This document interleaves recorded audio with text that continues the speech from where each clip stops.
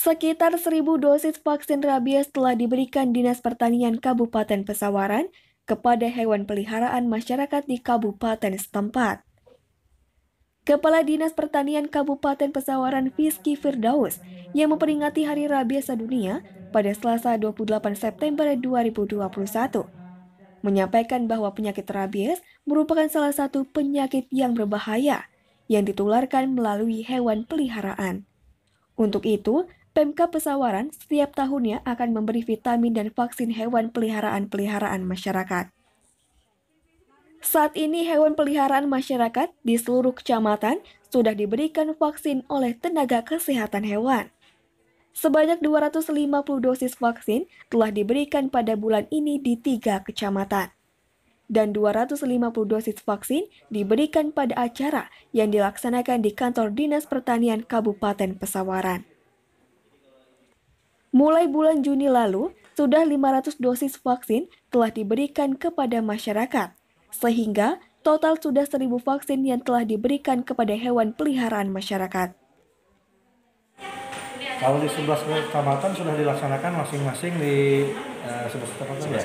Sudah dilaksanakan masing-masing 250 250 jadi oh. tiap, tiap kecamatan di 11 kecamatan 250 termasuk yang untuk acara hari ini di, hmm. di dinas pertanian ini kita laksanakan untuk 250 dosis vaksin rabies. Hmm, hmm, hmm. Itu uh, jenis hewan yang yang diberikan vaksin apa aja nih bang? Uh, monyet, uh, anjing, sama kucing. Oh. Kepala Bidang Peternakan dan Kesehatan Hewan Dedi Noviansa mengatakan bahwa hewan peliharaan berupa anjing, kucing juga monyet merupakan prioritas karena hewan tersebut banyak dipelihara masyarakat. Dinas Pertanian Kabupaten Pesawaran sendiri memiliki tiga puskeswan yang berada di Kecamatan Negeri Katon, Tegineneng, dan Wairatai. Pendataan hewan-hewan yang terjangkit rabies, meskipun selama ini tidak ada laporan terkait rabies bekerjasama dengan para medik, inseminator, serta dokter hewan.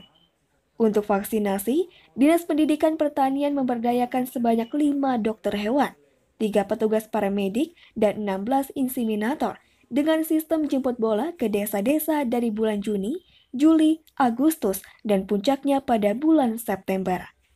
Kita punya tiga puskeswan yang ada di Kabupaten Sawaran, ada di Gerikaton, Tinggi Nenang, dan Weratai. Hmm. Nah, kita bekerja sama sama dokter hewan, sama paramedik, sama inseminator untuk mendata uh, hewan-hewan yang terjangkit rabies. Oh. Tapi untuk tahun ini uh, selama ini tidak ada laporan terkait rabies. Hmm. Uh, berapa jumlah vaksinator uh, untuk uh, apa melakukan vaksinasi ini, bang? Untuk untuk vaksinator ya? Iya, vaksinatornya. Uh, ada lima dokter hewan, ada hmm. tiga paramedik sama 16 inseminator. Hmm. Bulan Juni, hmm. Juli sampai bulan September ini. Puncaknya hari ini ya? Puncaknya hari tanggal 28 ini hari rabies dunia. Oh, Oke. Okay. Dari Pesawaran, Edi Susanto, Saburai TV melaporkan.